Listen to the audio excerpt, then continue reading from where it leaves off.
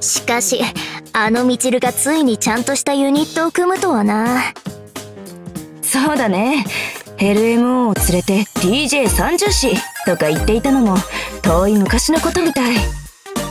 なんかあの頃はやけにピキピキと勝負したがってたよね。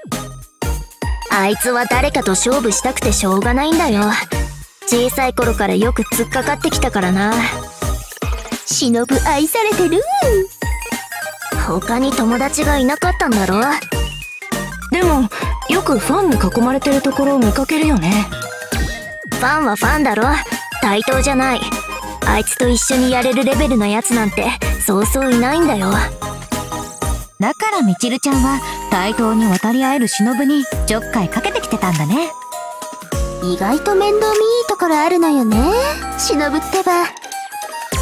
ううるさいな別に面倒なんか見てないっての忍にとってもそれだけ強力なライバルだったってことでしょ。まあいつ腕だけは確かだからな。変に策を浪して空回りするし無神経で無茶苦茶だし急な思いつきで衝動的に行動するしそれで失敗したらワンワン泣くし腕だけは確かなんだけど。うーん。忍がみちるちゃんとユニットを組まなかった理由が分かってきたわ。あんなわがままなやつと一緒にいられるわけないじゃん。忍も大概だと思うけど。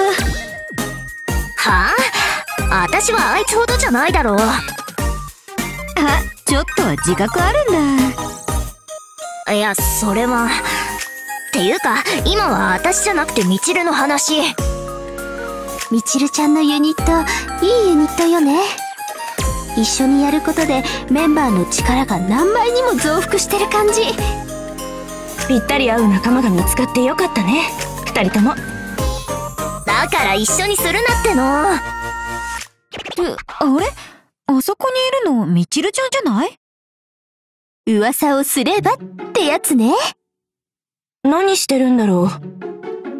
体中を手でポンポン叩きながらその場でぐるぐる回ってなんだか故障したロボットみたいね。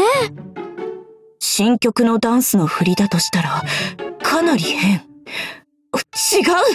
自動販売機で飲み物を買おうとしてるんだ。なのに財布を忘れたみたいだね。それでスマホで支払おうとしたら残高不足でチャージもできず諦めたと。ものすごい落ち込みながら帰っていくね。リアクションがオーバーで面白い。じゃなかった。わかりやすいわね。たくしょうがねえな。な、ななん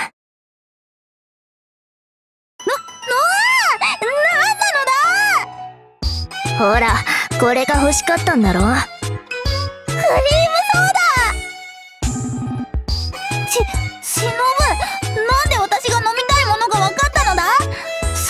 はエスパー。エスパーなのか？うるさ。誰だってわかるよ。ずっとこの辺りのボタンを押してたじゃんか。しかもお金も入れずダメ元で。それにお前子供の頃からクリームソーダ大好きだしな。うわ覚えてくれていたのか！しのぶ愛してますぞ！ああやってみるとライバルというより姉妹みたい。やっぱり面倒見いいじゃない？